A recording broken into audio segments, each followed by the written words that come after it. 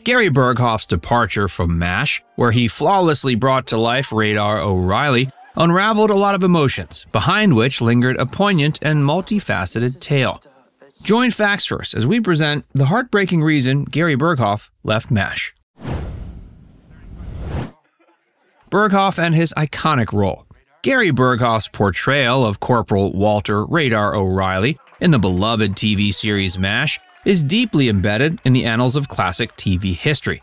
Burghoff was the only actor to transition from the original 1970 film MASH to the subsequent TV series, maintaining his role and becoming one of the show's most beloved characters. His journey to securing the role was quite straightforward due to his stellar performance in the film. The character of Radar, with his Midwestern innocence and uncanny ability to hear helicopters before anyone else, became a staple in the series, providing a contrast to the often cynical and chaotic environment of the Mobile Army Surgical Hospital during the Korean War. Radar was the company clerk responsible for the unit's day to day operations and often served as a foil to the surgeon's antics, providing a moral and innocent counterpoint to the often dark humor that permeated the show. His portrayal was nuanced and heartfelt, and it allowed viewers to see a gradual evolution of Radar from a naive young man to a slightly less naive and more world weary person, mirroring the broader themes of loss of innocence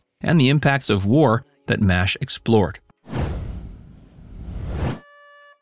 Memorable Radar Episodes Radar's Report, Season 2, Episode 3. In Radar's report, Gary Burghoff's character is tasked with writing the weekly activity report. The episode is structured around Radar and his report, providing a narrative device that allows viewers to see events from his perspective. Radar's innocent and somewhat naive viewpoint provides a contrast to the often cynical and harsh realities of the war around him. His interactions with the other characters and his attempts to navigate the complexities and absurdities of the military bureaucracy highlight his essential role in the functioning of the unit. The Sniper, Season 2, Episode 10. The Sniper is an episode where Radar's role is crucial in terms of both plot and emotional resonance. The unit comes under fire from a local sniper, and Radar becomes a key figure in communicating with headquarters to try to resolve the situation. His fear and vulnerability during the crisis are palpable, and his reliance on the senior staff, especially Hawkeye and Henry, highlights the familial relationships within the unit. Radar's actions and reactions during the crisis provide a focal point for the episode, exploring themes of fear, bravery, and camaraderie under fire. The Kids, Season 4, Episode 8. In The Kids, the unit becomes a temporary orphanage when a local school is bombed, and Radar's interactions with the children provide some of the episode's most touching moments. His genuine kindness and ability to communicate and connect with the children showcases characters' inherent goodness and empathy. Radar becomes the primary caregiver and protector of the children, and his efforts to ensure their safety and well being provide a stark contrast to the often cynical and detached demeanor of the surgeons and their staff. Radar's report in this episode, Radar is given a promotion to lieutenant, which he initially finds exciting, but he soon realizes the promotion distances him from the enlisted men he supervises and places him in an awkward position with the officers. His struggle with his identity and place within the unit provides a central theme for the episode. Saying goodbye. One of the most memorable episodes for Burghoff was Goodbye Radar, which was a two part episode where his character leaves the unit to return to his farm in Iowa. The departure of Radar was a significant moment in the series, marking a shift in tone and dynamics among the characters.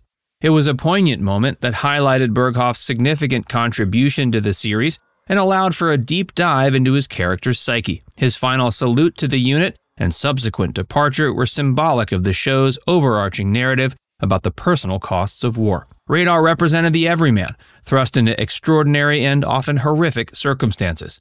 Burghoff's ability to infuse the character with genuine emotion and depth made Radar one of the most beloved characters on MASH.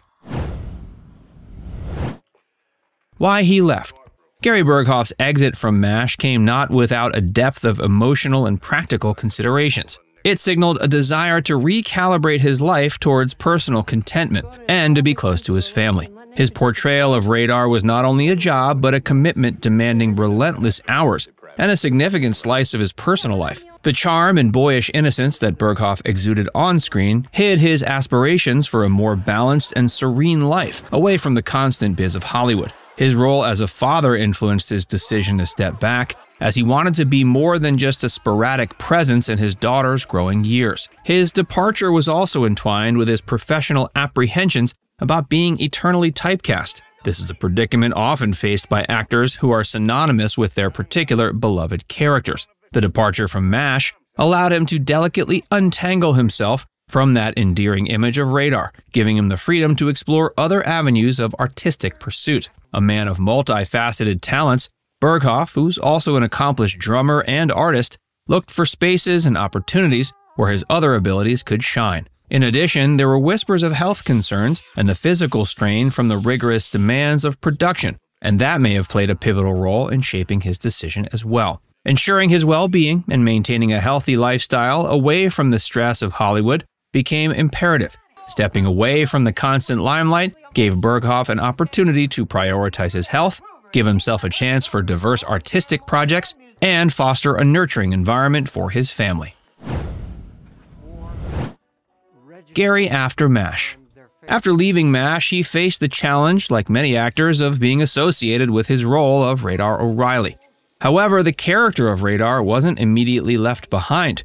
He reprised his role in a spin off pilot called Walter, airing in 1984. The show was set to explore Radar's life after returning from Korea, transitioning to civilian life as a police officer in St. Louis.